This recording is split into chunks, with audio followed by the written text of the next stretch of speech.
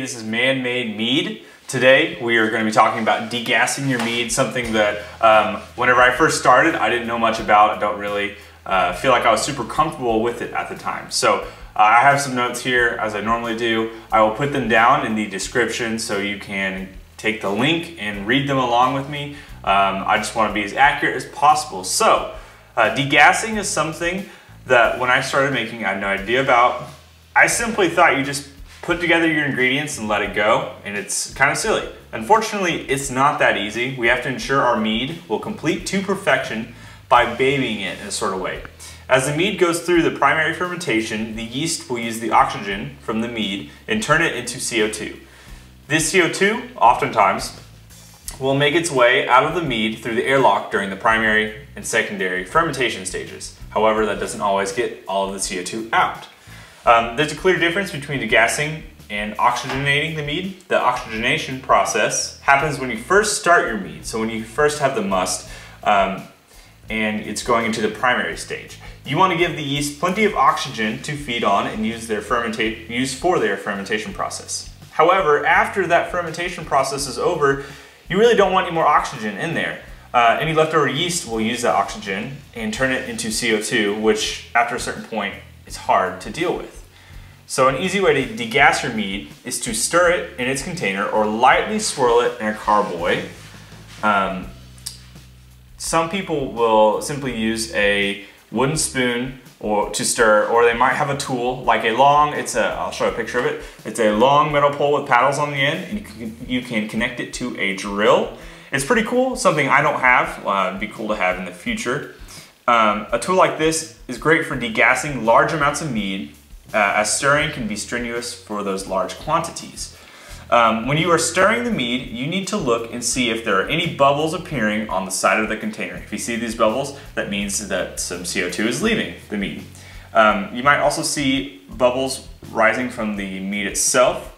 This, uh, this means that your process is working and you should continue to do this until the bubbles slow down to almost a halt. This will help rid the mead of CO2. Um, one other way people like to degas is by using a wine saver. What it is, it's, it's a, uh, basically a vacuum for wine. Once you open a wine and you don't drink it all, and then we want to store it again, uh, you put this thing in um, and it will create a vacuum and pull out the oxygen and the CO2 out of that. So people use this for meads and they'll put it on top and then just uh, use the vacuum side of things and then actually pull that CO2 out of the mead. So that's probably the most effective way to do it. The wine savers are cheap, maybe about $10. Um, and you can do it on a glass carboy. Um, there are ways to do it on um, fermentation buckets. You could do it with anything. But something like that, creating that vacuum, will pull out all of that CO2, which is great. It's important that you degas your mead because if there's too much CO2, there can be problems with bottling and storing for long periods of time. The CO2 stored in the mead um, will create pressure and then could cause explosions uh, in the future.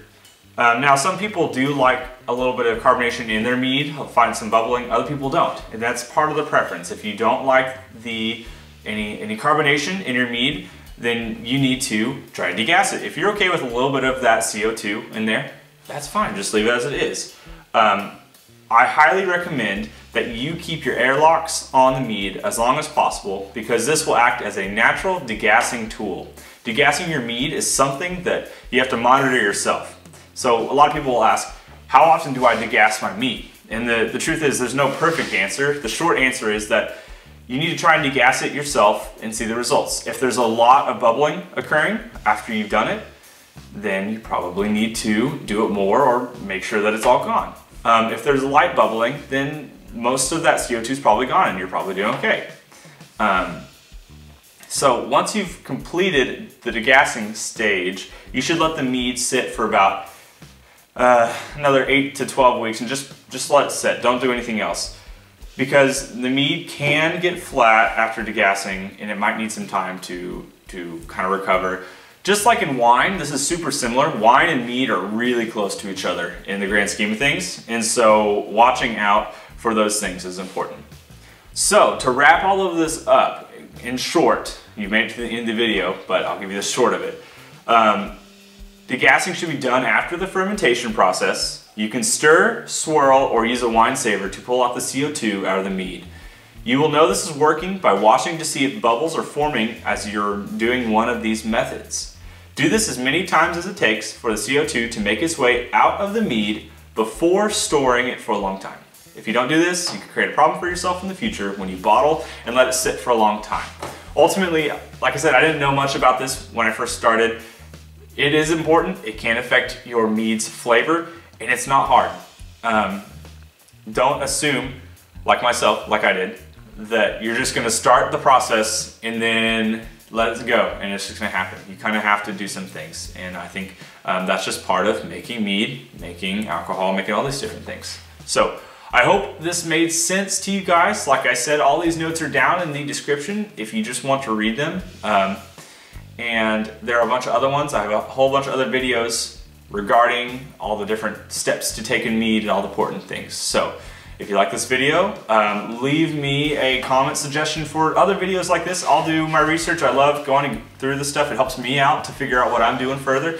But also, I think it's fun to make these videos for you guys. So Thank you for watching. Leave a like, subscribe, everything. I would love to see this channel continue to grow and continue to see you guys be involved. So uh, I will see you guys next time. Cheers.